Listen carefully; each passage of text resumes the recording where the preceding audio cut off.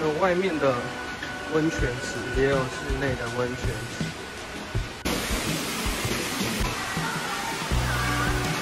这颜色不一样，可能是有庙宇。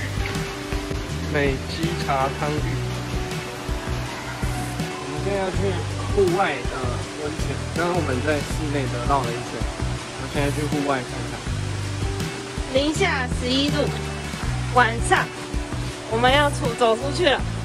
嗯，因为在里面已经泡了，所以其实身体是暖的。哇，那个风吹来，看这边都是雪哦，全是雪。哦，这里有两个冒烟池。所以在冬天雪地里泡温泉是什么？其实蛮爽的。觉得值回票价。